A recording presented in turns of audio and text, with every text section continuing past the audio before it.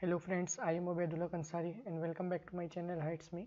So in the last lecture we have started our module number 3 that is gas turbine.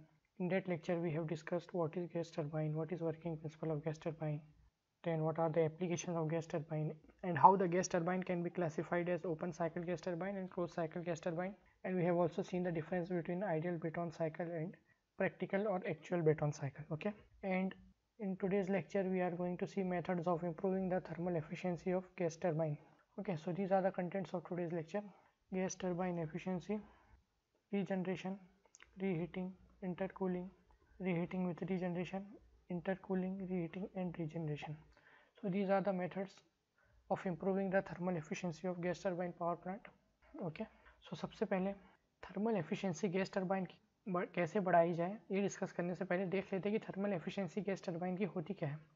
So since this gas turbine works on the Brayton cycle which is nothing but a gas power cycle so the general formula for thermal efficiency of any air standard gas power cycle is nothing but net work upon heat supplied so thermal efficiency of gas turbine is net work upon heat supplied now here the net work we are getting in the form of turbine work in compressor work turbine is producing the power and compressor is consuming the power so net work would be turbine work minus compressor work divided by heat supplied okay heat supplied by burning of the fuel now carefully look this equation we want to increase the thermal efficiency of gas turbine हमको इस gas turbine की thermal efficiency बढ़ाना है उसकी thermal efficiency की equation हमारे सामने है work done by turbine minus work done by compressor divided by heat supplied okay तो अब देखो तीन तरीके हो सकते हैं इसको बढ़ाने के, ठीक है? मैं क्या चाह रहा हूँ, मेरी इक्वेशन का जो लेफ़्ट हैंड साइड है थर्मल एफिशिएंसी ये मुझे बढ़ के मिलना चाहिए। जब लेफ़्ट हैंड साइड बढ़ाना है तो ऑब्वियसली राइट हैंड साइड भी बढ़ना चाहिए। राइट हैंड साइड में न्यूमिनेटर में एक टर्म है और एक डिनोमिनेटर में। अभी जो न्यूमिनेटर का टर्म जितना बड़ा होगा, उतना मेरे लिए अच्छा है। और डिनोमिनेटर का टर्म जितना कम हो, उतना बेहतर है ओके ना सपोज़ मैं चाह रहा हूँ कि किसी तरह मैं हीट सप्लाइड को कम करूँ। ओके अगर मैं थर्मल एफिशिएंसी बढ़ा रहा हूँ by reducing the heat supplied then it would be called as regeneration okay second method क्या हो सकता है? मैं न्यूमिनेटर को बढ़ाना है मुझे। न्यूमिनेटर को बढ़ाने के दो तरीके हैं। या तो आप डब्ल्यू टी की वैल्यू को बढ़ाओ, या फिर डब्ल्यू सी की वैल्यू को कम करो। Because here W T minus W C minus में डब्ल्यू सी तो वर्क रिक्वायर्ड बाय कंप्रेसर जितना कम हो, उतना अच्छा है। और वर्क डन बाय टरबाइन जितना ज़्यादा हो, उतना अच्छा है। तो वर्क डन बाय टरबाइन बढ़ाने के लिए जो प्रोसेस हम यूज़ करते हैं that is called as reheating and work required for compressor को रिड्यूस करने के लिए जो प्रोसेस हम यूज़ करते हैं, उसको बोलते हैं intercooling So the thermal efficiency of gas turbine can be improved by one or more than one of the following method by decreasing the amount of heat supplied. First method by decreasing the amount of heat supplied by reducing the Q S हम efficiency बढ़ा सकते हैं और उस method को नाम देते हैं regeneration second by increasing the work done by the turbine that is by increasing the value of W and third one by decreasing the value of W C so based on the quantity which we are varying कौन सी quantity हम बढ़ा रहे हैं या कम कर रहे हैं टू इंक्रीज द एफिशियंसी उस पर डिपेंड करता है हमारा मेथड कौन सा है थर्मल एफिशियंसी बढ़ाने का ओके okay? चलो तो वन बाय वन इनको हम डिस्कस करेंगे। First one is regeneration okay तो रीजनरेशन में क्या करना है हमको? रीजनरेशन मीन्स हमको हीट सप्लाइड को कम करना है। अब हीट सप्लाइड कैसे हो रही है? बाय बर्निंग ऑफ़ फ्यूल तो जो फ्यूल बर्न हो रहा है उसकी कुछ ना कुछ कैलोरीफिक वैल्यू होगी इस फ्यूल की ओके और वो सर्टेन रेट से बर्न होगा। हमने बॉयलर में इक्वेशन देखे So heat supplied by the fuel would be m dot f C Cv, calorific value of the fuel. Okay, where m dot f is mass flow rate of the fuel which we are using. And Cv is the calorific value of the fuel.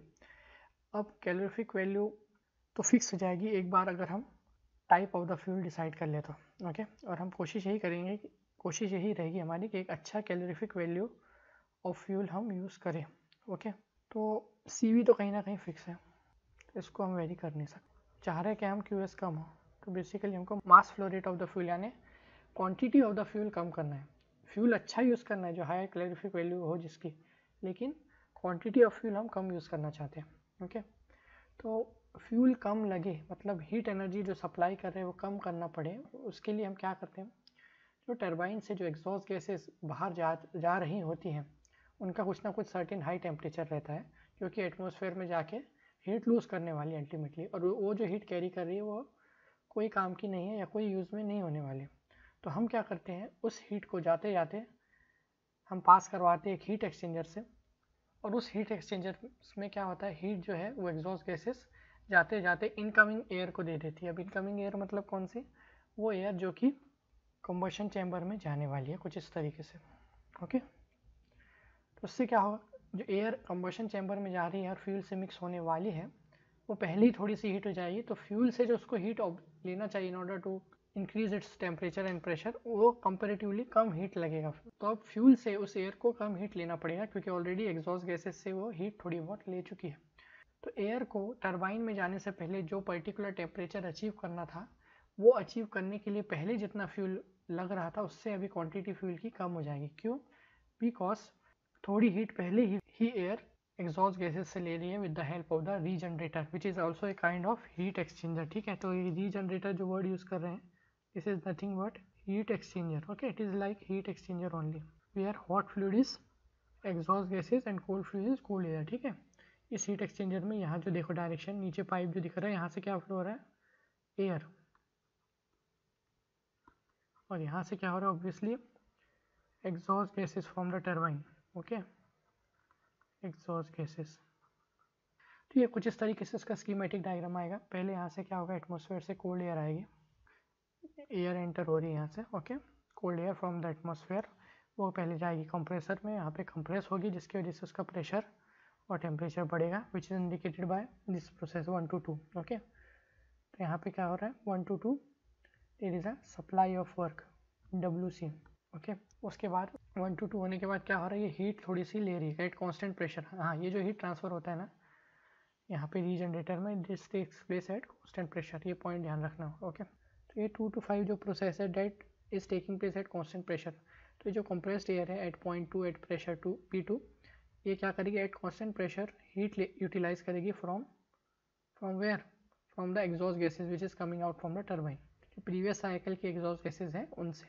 तो previous cycle के exhaust gases का state क्या है? देखो state number four तो ये point four पे। Point four की जो एग्जॉस्ट गैसेज है, वो कॉन्टेक्ट में आएगी पॉइंट टू के एयर से। तो एज अ रिज़ल्ट क्या होगा?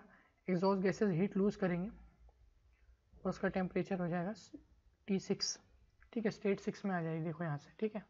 Similarly incoming air temperature T two पर रहेगी इनिशियली और हीट एब्जॉर्व करके वो टी फाइव टेम्परेचर तक आ जाएगी okay and amount of heat transfer from exhaust gases to compressed air is nothing but q regeneration, okay?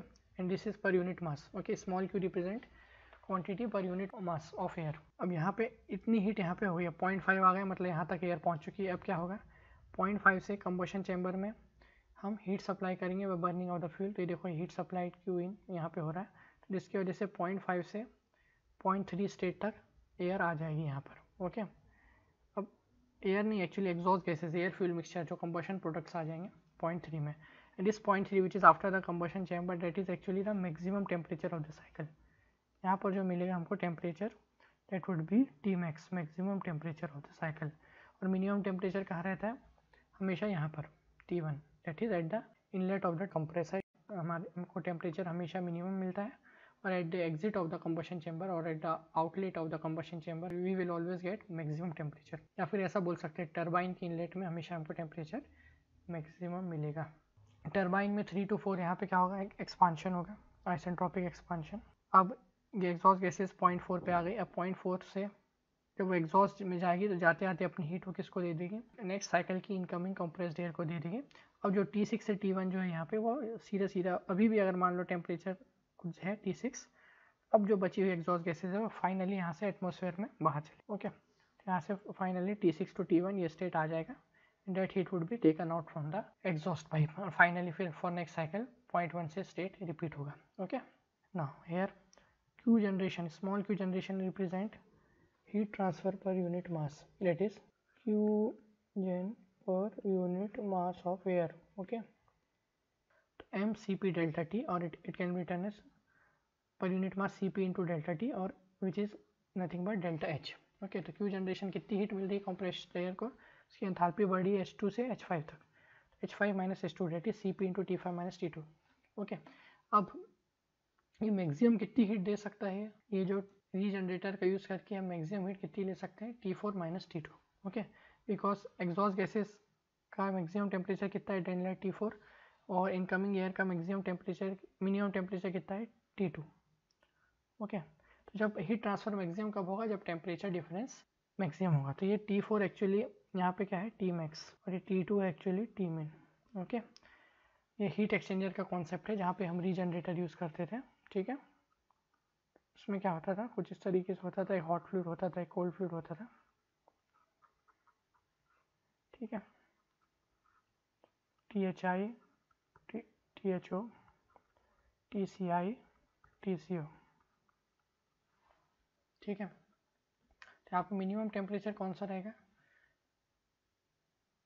हमेशा कोल्ड फ्लूड का इनलेट टेम्परेचर मिनिमम रहता है और हॉट फ्लूड का इनलेट टेम्परेचर मैक्सिमम रहता है तो डेट वुड बी अगर इतना टेम्परेचर डिफरेंस रहेगा तो दोनों के बीच में जो हीट ट्रांसफ़र आएगा वो मैक्सिमम तो Q max would be C P into T four minus T two okay ना what is effectiveness of any heat exchanger now, what is effectiveness of any heat exchanger or regenerator? That is actual heat transfer upon maximum possible heat transfer, which is TCO minus TCI upon THI minus TCI that is cold fluid का outlet temperature minus cold fluid का inlet temperature upon hot fluid का inlet temperature minus cold fluid का inlet temperature I hope you remember this formula from heat transfer okay ये formula हमने कहाँ पढ़ चुके हैं? हीट ट्रांसफ़र में। ना इस Q generation would be equal to H five minus H two and Q max is H four minus H two and in terms of C P अगर मैं लिखता हूँ यहाँ पे क्या होगा? दो टर्म आएँगे।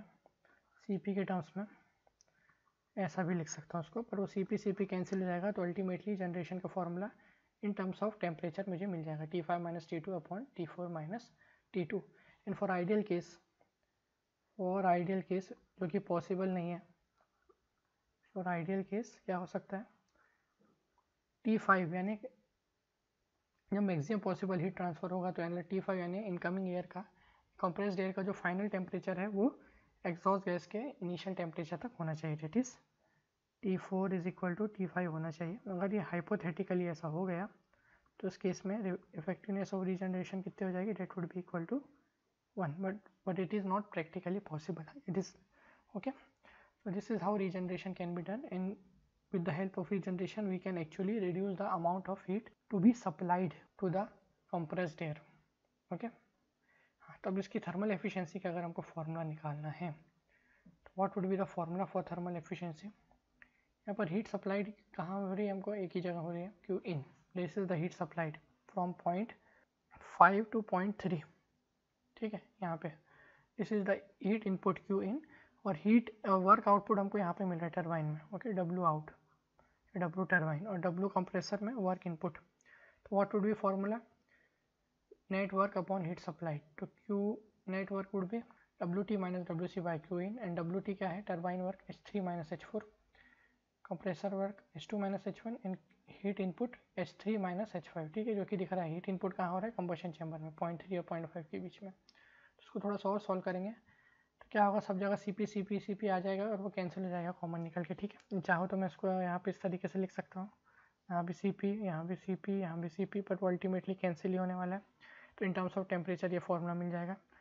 तो this is actually the basic formula for the practical case okay ये formula thermal efficiency with regeneration का है for for practical case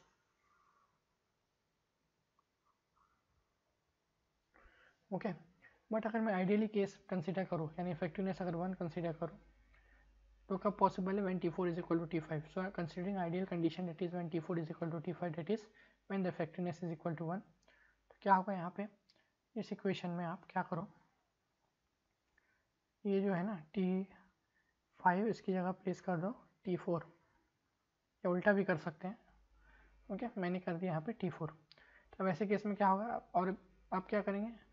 इसको तो रिप्लेस किए साथ ही साथ ये ऊपर के न्यूमिनेटर के जो दो टर्म्स हैं उनको हम सेपरेट कर देंगे तो इक्वेशन में आएगी T three minus T four upon T three minus T four minus T two minus T one upon T three minus T four तो फ़र्स्ट वाला टर्म कैंसिल होकर क्या बचेगा वन तो one minus T two minus T one upon T three minus T four this would be equal to one minus इसमें से क्या करें हम टी वन को कॉमन निकाल रहे हैं न्यूमिनेटर में से और डिनोमिनेटर में से मैं टी थ्री को कॉमन निकाल रहा हूँ ओके मेरी इक्वेशन क्या मिलेगी one minus T one by T three into T two minus T one minus one और one minus T four by T three. ठीक है? तो अभी मैंने इस तरीके से T1 और T3 को ही कॉमन क्यों निकाला आप? At what is T one is representing T one is representing minimum temperature and T3 is representing maximum temperature तो मैंने मिनिमम और मैक्सिमम टेम्परेचर को ब्रैकेट से बाहर निकाला हूँ। ओके सो इक्वेशन कुछ इस तरीके से बन जाएगी।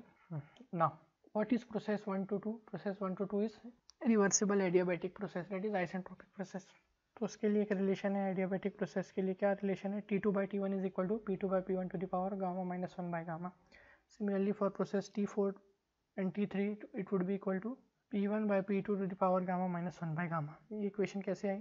कैसे आई equation because here T four by T three this should be equal to क्या आना चाहिए? P four by P three power gamma minus one by gamma अब डायग्राम देखो आप पी फोर क्या है और पी थ्री क्या है? अगर आप डायग्राम देखते हो तो।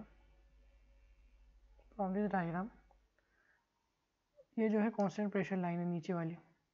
तो यार one is is equal to P four P one P four और पी सिक्स बराबर है। सिमिलरली टू फाइव और थ्री बराबर है। वन फोर सिक्स बराबर है और टू फाइव थ्री बराबर है। ओके तो यहाँ पे क्या आ जाएगा। It is equal to P one by P four की पी वन के बराबर जाएगा और पी थ्री हो जाएगा। पी टू के बराबर। Gamma minus one by gamma. तो यहाँ से फॉर्मूला आया okay one minus T one by T three into P two by P one to the power gamma minus one by gamma minus one one minus P one by P two to power gamma minus one by gamma अब मैं क्या करूँगा, यही equation को as it is लूँगा और इसमें एक टर्म मल्टीप्लाई करूँगा, ठीक है? मैंने जो है ये टर्म मैंने मल्टीप्लाई किया divide and multiply by P two by P one to the power gamma minus one by gamma ठीक है? इसको थोड़ा सा सिंप्लीफाई करने के लिए। अब आप क्या करो? ये वाले टर्म को न्यूमिनेटर वाला जो टर्म है, उसको एज इट इज़ रहने दो। डिनोमिनेटर वाले टर्म को ना यहाँ मल्टीप्लाई कर दो, अंदर ठीक है? तो अब क्या मिलेगी इक्वेशन ऐसा करने से? न्यूमिनेटर तो एज इट इज़ रहेगा, कुछ चेंजेस नहीं आएगा। डिनोमिनेटर में one multiply by this term would be P two by P one to the power gamma minus one by gamma अब जब अंदर यहाँ पे आप इसको मल्टीप्लाई करोगे तो उसकी पावर सेम है। तो कोफिशियंट होंगे P one by P two into P two by P one तो कितना बचेगा सिर्फ़ वन ओके और आपको पता है one to the power anything कितना होगा? That should be one only तो ऐसा करने से ये जो करली ब्रैकेट है, वो वो न्यूमिनेटर और डिनोमिनेटर पूरा सेम हो जाएगा। तो बेसिकली ये पूरा टर्म कैंसिल हो जाएगा। ठीक है तब टर्म बचा क्या है? Thermal efficiency of using the regenerator for ideal case would be one minus T one by T three P two by P one to the power gamma minus one by gamma in this P two by P one is nothing but rp which is nothing but pressure ratio. Okay? And here also t1 is nothing but minimum temperature and t3 is maximum temperature. This would be basic formula for thermal efficiency using the regenerator considering ideal condition 1 minus t minimum by t maximum into rp to the power gamma minus 1 by gamma where rp is the pressure ratio T minimum is the minimum temperature in the cycle which is at the inlet of the compressor and T max is the maximum temperature of the cycle which is at the outlet of the combustion chamber. Okay? So, this was about regeneration. Our next process is reheating. तो reheating में हम क्या करते हैं? मकसद क्या रहता है हमारा? हमको टर्बाइन वर्क बढ़ाना है। W T okay H at the inlet of the turbine minus H at the outlet of the turbine per unit mass ठीक है? चाहे तो उसको मास फ्लो रेट से आप मल्टीप्लाई कर दो total work done by the turbine आ जाएगा। पर स्पेसिफिक निकालना है तो मास फ्लो रेट को हटा दो। अब मुझे क्या करना है रेटिंग में? इस डब्ल्यू को बढ़ाना है। ठीक है? अब डब्ल्यू को बढ़ाने के लिए क्या करना पड़ेगा? H at the inlet of the turbine enthalpy of the exhaust gases which is at the inlet of the turbine इसको बढ़ाना है। ओके? अब enthalpy of the exhaust gas को बढ़ाने के लिए क्या होना चाहिए? उसका टेम्परेचर ज़्यादा से ज़्यादा हमको करना पड़ेगा। Okay? Because ultimately this is nothing but it is equal to M dot C P turbine inlet temperature minus turbine outlet temperature तो इन टर्बाइन के इनलेट में जितना ज़्यादा टेम्परेचर रहेगा बेसिकली उतना ज़्यादा हमको work output by the turbine मिलेगा। बिकॉज़ ये जो हमारा जो पाथ है ना, ऐसा वाला नीचे टर्बाइन में जो एक्सपांशन हो रहा है एट कॉन्स्टेंट एंट्रोपी ये हम चाहते हैं मैक्सिमम ही वैल्यू है ओके मिनिमम वाले को तो कम से कम जितना करना चाहें हम कर सकते हैं बट यहाँ पे जितना ज़्यादा इनलेट टेम्परेचर होगा, उतना ज़्यादा टर्बाइन वर्क हमको मिलेगा। लेकिन इसकी मैक्सिमम लिमिट हम ज़्यादा बढ़ा नहीं सकते due to the metallurgical consideration because जो टर्बाइन की ब्लेड्स इस exhaust gases high temperature exhaust gases से या प्रोडक्ट्स ऑफ़ कम्बशन से कांटेक्ट में आने वाले हैं, उनकी मैकेनिकल प्रॉपर्टीज़ चेंज हो सकती है और उतने हाई स्पीड में ऑपरेट हो रहे हैं, उनकी मैकेनिकल प्रॉपर्टीज़ चेंज होगी तो होगी, उसका हो सकता है उनके हार्डनेस आ जाए उसमें, वो फिर एग्जॉस्ट गैसेस के इम्पैक्ट को झेल ना सके, वो ब्लेड्स टूट सकते हैं उनको नुकसान हो सकता है। उनको सेफली ऑपरेट कराने के लिए एक पर्टिकुलर टेम्परेचर पे ही ऑपरेट करना ज़रूरी है। ठीक है? अब उसका मैक्सिमम टेम्परेचर फिक्स हो गया तो हम work done by the turbine इस तरीके से नहीं बढ़ा सकते तो एक दूसरा तरीका निकाला गया in order to increase the work output by the turbine, instead of expanding the exhaust gases in single stage, we will expand it in multi stage okay?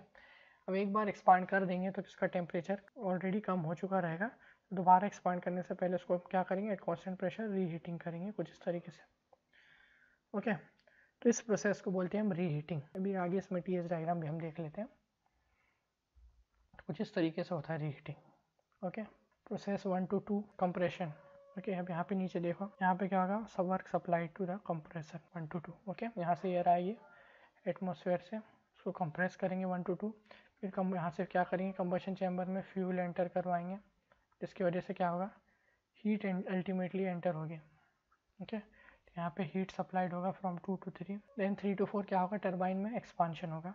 In the first turbine okay इसको हम high pressure turbine भी बोल सकते हैं, क्योंकि इसमें turbine का pressure pressure at the inlet of the turbine high होता है। Okay so this can also be called as H P turbine high pressure turbine इसको बोल सकते हैं हम low pressure turbine L P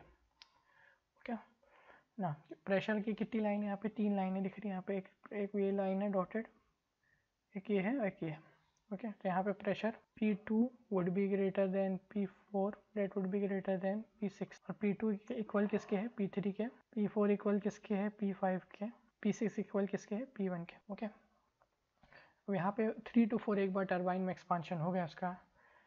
okay अब यहीं कहीं वर्क कम होगा तो उसको क्या करेंगे हम? बढ़ाने के लिए थ्री टू फोर एक्सपांड करने के बाद क्या करेंगे, उसको वापस से रीहीट करेंगे। तो यहाँ पे हीट वापस से हमको सप्लाई करना पड़ेगा Q S one then again turbine में हमको एक्सपांशन करेंगे। Three to four five to six ये दोनों प्रोसेस है टर्बाइन के एक्सपांशन की। दोनों जगह वर्क आउटपुट मिलेगा। और हमको कंबशन चैम्बर में तो हीट सप्लाई करना ही पड़ेगा, साथ ही साथ यहाँ पे रीहीटिंग में भी हीट सप्लाई करना पड़ेगा। ओके तो हमारा मकसद क्या था यहाँ पे रीहीटिंग में? हम work output by the turbine बढ़ाएँ। ठीक है? बिकॉज़ जब हम work output by the turbine बढ़ाएँगे, तभी तो एफिशिएंसी बढ़ेगी। बट यहाँ पर हो रहा क्या है? हीट सप्लाई भी बढ़ रहा है। Net work output per K G of the air in the cycle would be W net would be W T minus W C अब टर्बाइन वर्क कहाँ कहाँ मिल रहा है? एक तो लो प्रेशर टर्बाइन में, एक हाई प्रेशर टर्बाइन में। और कंप्रेसर तो एक ही है तो तो net work would be W H P T minus W L P T minus W C air for high pressure turbine में क्या हो रहा है? Per unit mass C P T three minus T four C P T five minus T six and work required in compressor C P T two minus T one okay now next heat supplied per kg of air in the cycle q in would be q heat supplied per unit mass of air in combustor and heat supplied per unit mass of air in the reheater so that would be cp t3 minus t2 and cp t5 minus t4 ठीक है point two से point three combustion में heat supply हो रही है point four to point five reheater में heat supply हो रही है okay next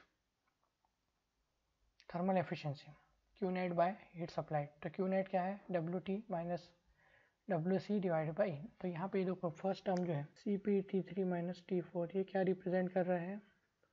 This is representing work develop in high pressure turbine okay this second term is representing work develop in low pressure turbine third term is representing work required by compressor नीचे में भी दो है T three minus T two this T three minus T two is representing heat supplied in combustor or combustion chamber, and this term is representing heat supplied in reheater ठीक है? इन सारे term को combine कर दिए तो इससे मिलेगा W net by heat supply total okay next इनको सी पी सी पी सब जगह से हो जाएगा कैंसिल कॉमन निकल के ठीक है? इनको आप कैंसिल कर सकते हैं। Finally in terms of temperature equation मिल जाएगी T three minus T four plus T five minus T six minus T two minus T one और T three minus T two plus T five minus T four okay और ऐसा proof किया जा सकता है analytically इसकी ज़रूरत नहीं है प्रूफ की as for examination point of view कि अगर हमको मैक्सिमम वर्क आउटपुट चाहिए तो R P one that is the intermediate pressure ratio should be equal to square root of total pressure ratio और टोटल प्रेशर रेशो क्या है? ठीक है, मैंने बताया ना यहाँ पे आपको। तीन डिफरेंट प्रेशर के स्टेजेस हैं। सबसे बड़ा P two which is equal to P three दोनों इक्वल भी हैं okay P two is equal to P three P four is equal to P five and P six is equal to P one ठीक है? तो सबसे बड़ा pressure P two divide by सबसे छोटा pressure P one this is nothing but overall pressure ratio तो maximum output लेने के लिए हम क्या करेंगे? ये जो पॉइंट फोर को हम चाहेंगे कि पी इंटरमीडिएट तक हम एक्सपांड करें। पी इंटरमीडिएट कितना होना चाहिए? P I this should be equal to square root of P one into P two ठीक है, इस हिसाब से हम कितना डिग्री एक्सपांशन करना है फ़र्स्ट स्टेज में और कितना सेकेंड स्टेज में ये डिसाइड करेंगे in order to maximize our work okay so next process is intercooling तो इसमें क्या होता है इंटरकूलिंग में? हमको कंप्रेसर वर्क को रिड्यूस करना है okay we want we want we want to reduce the compressor work अब कोई भी मीडियम है एयर है या कोई और मीडियम है, उसको हम कंप्रेस करना चाहते हैं। यानी उसकी वॉल्यूम कम करना चाहते हैं और जब वॉल्यूम कम करेंगे तो प्रेशर बढ़ेगा। तो थर्मोडाइनमिक प्रोसेस ऑफ़ कंप्रेशन तीन ही तरीके से पॉसिबल है, ठीक है? क्योंकि प्रेशर और वॉल्यूम चेंज हो रहा है तो वो आइसोकोरिक नहीं हो सकता वो और आइसोबारिक भी नहीं हो सकता। तीन प्रोसेस कौन सी पॉसिबल है? आइसोथर्मल एडियाबेटिक और पॉलीट्रोपिक उसमें से भी आइसोथर्मल कंप्रेशन में सबसे मिनिमम वर्क मिलता है। But problem with isothermal compression is it is very slow process क्योंकि उसके लिए हमको कंप्रेसर को बहुत ही स्लो स्पीड में ऑपरेट करना पड़ेगा जो कि प्रैक्टिकली पॉसिबल नहीं है अचीव करना ओके तो हम क्या करते हैं? परफेक्टली आइसोथर्मल तो अचीव नहीं कर पाते but close to isothermal achieve करने की कोशिश करते ताकि हमारा work required for compression of the air कम लगे okay okay, work consume by compressor कम हो जाए ताकि हमारे overall efficiency of the gas turbine बढ़ जाए। ओके और मैंने ये चीज़ लास्ट लेक्चर में क्लोज साइकिल गैस टर्बाइन में भी बताया था कि टेम्परेचर जब ज़्यादा होता है एयर का या कोई भी मीडियम का तो उसको कंप्रेस करने में प्रॉब्लम होती है, ज़्यादा वर्क लगता है। इस वजह से क्लोज साइकिल गैस टर्बाइन में टर्बाइन के जो एग्जॉस्ट से जो भी वर्किंग मीडियम आता है हाइट हाई टेम्परेचर उसको हम कंप्रेसर में भेजने से पहले कूल करते हैं और फिर कंप्रेसर में भेजते हैं ताकि कंप्रेशन वर्क कम रहे। जितना टेम्परेचर कम रहेगा हमारे लिए, उतना कंप्रेशन के लिए अच्छी बात है वो। ओके सो हम चाहते हैं कि जब कंप्रेस कर रहे हैं तो टेम्परेचर बढ़े ना। एयर का या जो भी मीडियम हम यूज़ कर रहे हैं तो। टेम्परेचर बढ़ेगा तो वो तो जो मीडियम है वो कंप्रेस होने से को अवॉइड करेगा या कंप्रेस होने को अपोज करेगा, जिसकी वजह से वर्क इनपुट ज़्यादा लगने वाला है। तो हम एक्चुअल आइसोथर्मल प्रोसेस तो कर नहीं सकते but close to isothermal achieve करने के लिए हम क्या करते हैं इंटरकूलिंग प्रोसेस को यूज़ करते हैं। इंटरकूलिंग प्रोसेस क्या होती है? वो प्रोसेस जिसमें गैस को या एयर को हम कंप्रेस करते हैं इन स्टेजेस ओके और स्टेजेस में कंप्रेस करने के लिए जिस तरीके से अभी रीहीटिंग करे थे हमने, जब दो स्टेजेस में एग्जॉस्ट गैसेस को हमने एक्सपांड किया पर बीच में इसको हीटिंग किया, ठीक? इसी तरह यहाँ पे क्या कर रहे हैं?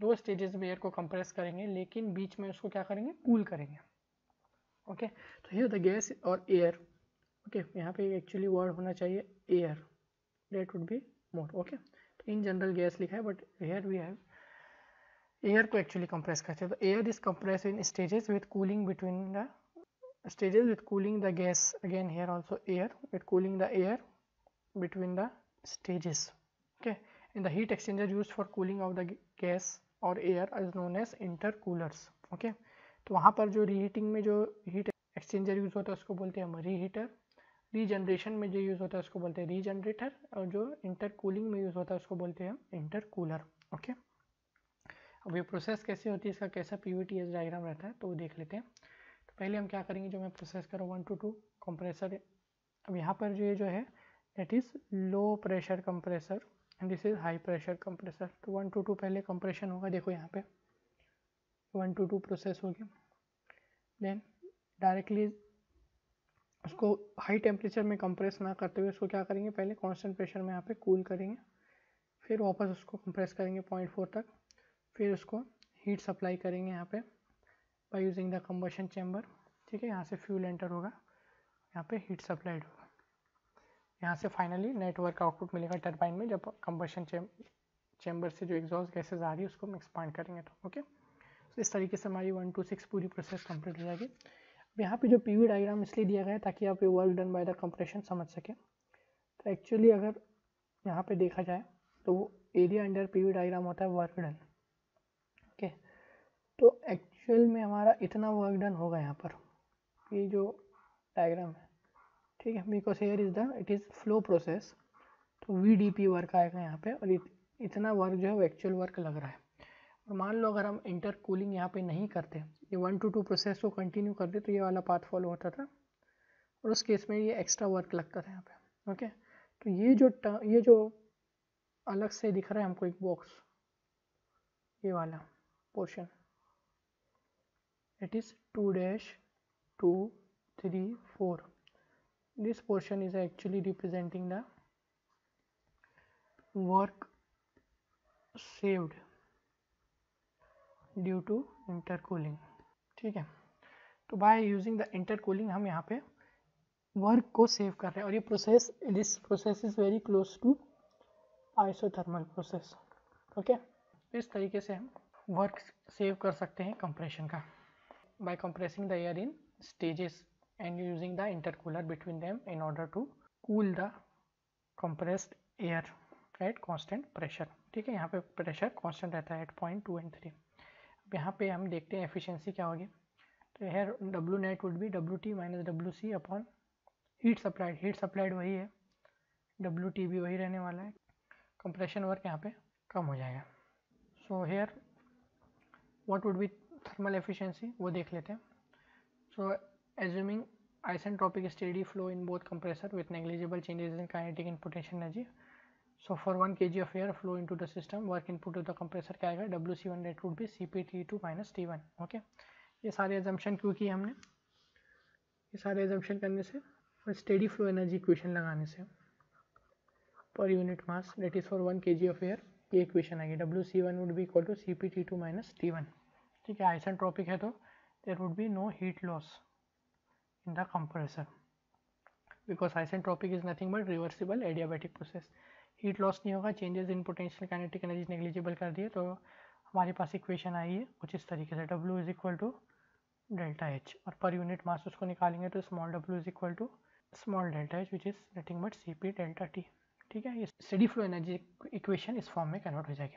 Similarly for second stage compressor it would be W C two would be C P T four minus T three and for total compressor work would be C P T two minus T one plus C P T four minus T three अब इसमें से हम क्या करेंगे? Common निकालेंगे T one और T three अभी T one और टी थ्री कॉमन क्या है? इस बोथ एक term represent temperatures at the inlet of the compressor at stage one and stage two okay उसको मैंने कॉमन निकालो टी वन और टी थ्री को। अब थोड़ा सा उसको और सिंप्लीफाई करेंगे। कुछ इक्वेशन इस तरीके से बन रहा है। T2 by T1 is nothing but P2 by P1 to the power gamma minus 1 by gamma because 1 to 2 is adiabatic process. Similarly, T four by T three को मैं लिख सकता हूँ P four by P three to the power gamma minus one by gamma now for perfect intercooling between the stages अगर हमको perfect intercooling करना है तो हम चाहते हैं कि आइसोथर्मल प्रोसेस के करीब करीब रहे। तो आइसोथर्मल प्रोसेस करीब करीब रखने के लिए हम क्या करेंगे? उसका टेम्परेचर कॉन्स्टेंट मेंटेन करने की कोशिश करेंगे। तो at the inlet of the first stage of the compressor जितना टेम्परेचर था, उतने ही टेम्परेचर तक हम इंटरकूलर में उसको कूल करेंगे। T two to T three जो प्रोसेस है, हम इस तरीके से करेंगे। कि जो inlet of the first compressor जितना टेम्परेचर था, उतना ही टेम्परेचर हमको inlet of the second compressor में मिलना चाहिए। ठीक है, इस तरीके से यहाँ पे इंटरकूलिंग में हम उसको कूल करवाएँगे ओके देखो यहाँ पे दिख रहा है T one is equal to T three ऐसा जब करेंगे तो उस केस में परफेक्ट इंटरकूलिंग होगी और जो हमारा work required for the compression रहेगा that would be minimum okay so for perfect intercooling T one should be equal to T three and उस केस में हमको मिलेगा। Intermediate pressure is equal to P one by P four which is the ratio of minimum and maximum pressure and optimization अब done also result in equal pressure ratio in each stage okay and the equal pressure ratio in in each stage would be P four by P I that would भी equal to P I by P one ये P four by P I second upper high pressure stage का pressure ratio है और ये वाला low pressure stage का है। तो जब ये कंडीशन सेटिस्फाई होगी T one is equal to T three तो ये भी सेटिस्फाई होगी P one P I is equal to P one by P four और साथ ही साथ ये कंडीशन भी सेटिस्फाई होगी।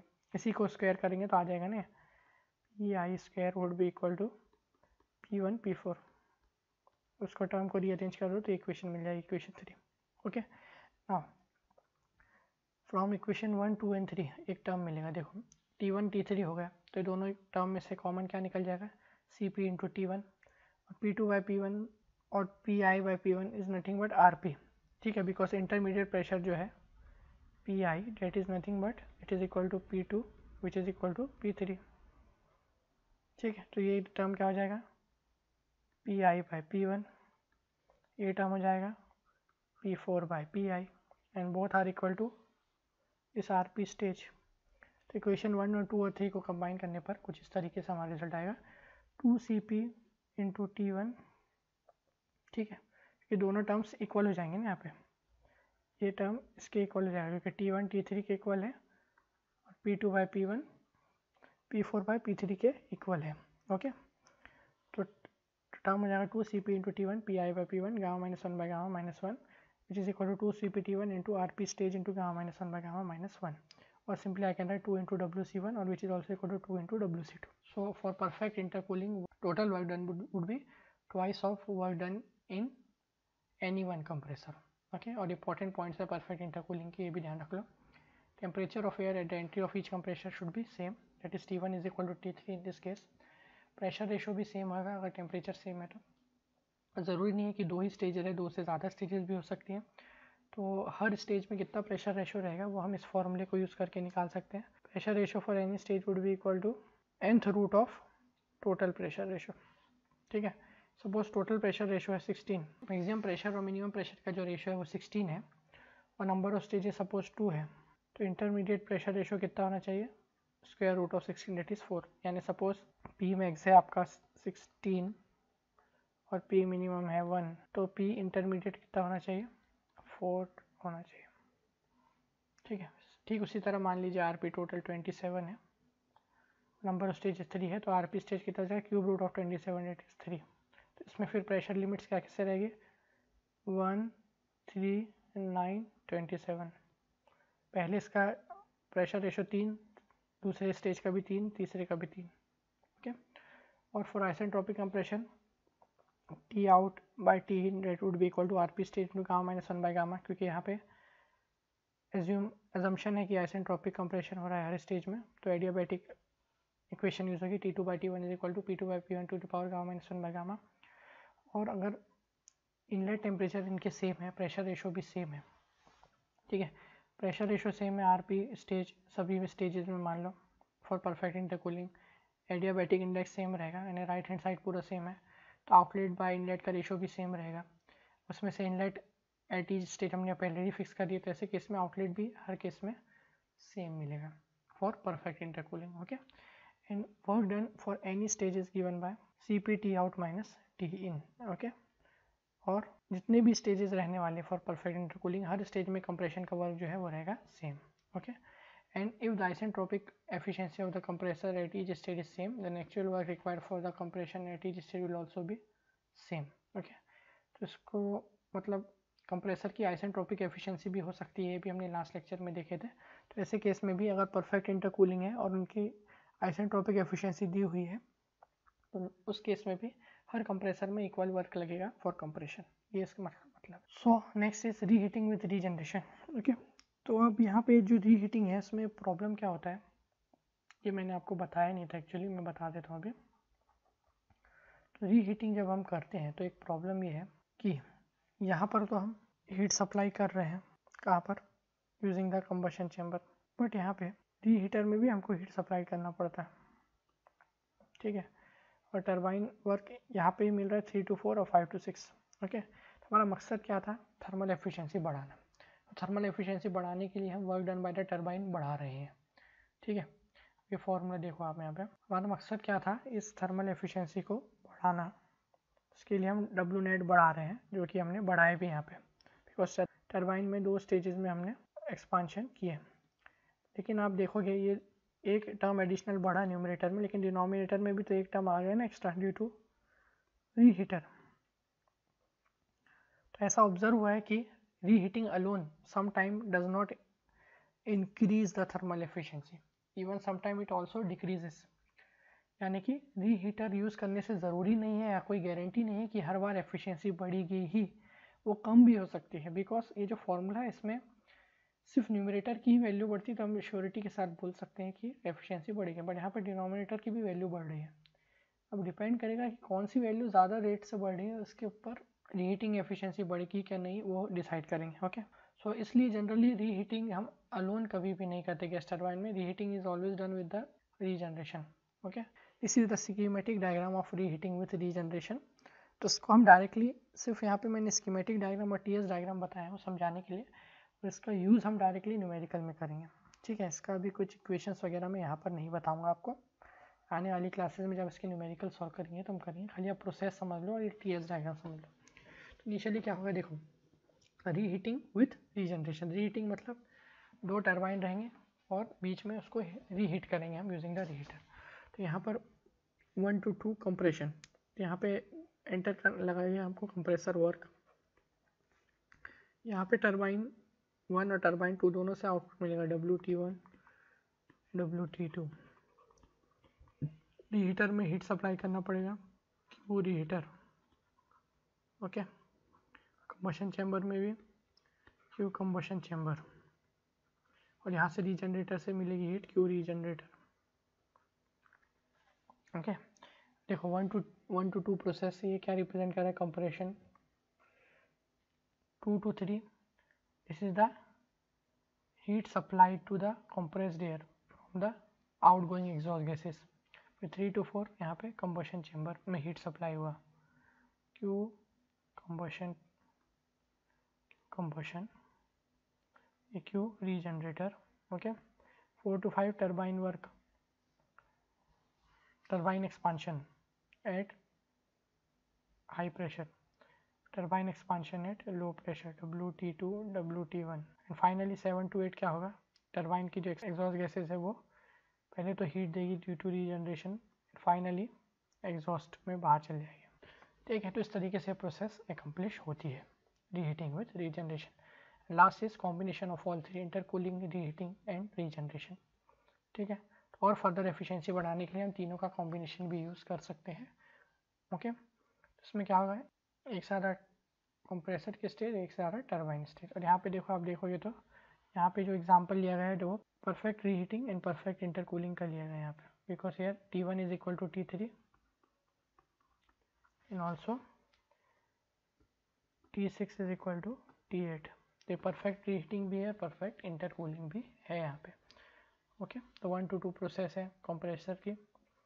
In low pressure compressor this is high pressure compressor this is high pressure turbine this is low pressure turbine 1 to 2 compression in low pressure compressor 2 to 3 intercooling 3 to 4 compression in high pressure compressor then 4 to 5 heat recovered due to regeneration ठीक है and 5 to 6 heat supplied in the combustion chamber by fuel 6 to 7 expansion in the high pressure turbine 7 to 8 reheating 8 to 9 expansion in the low pressure turbine 9 to 10 heat supplied to the compressed air from the exhaust gases and 10 to 1 exhaust heat out okay तो इस तरीके से का combination भी हम use कर सकते हैं so i hope you have understand everything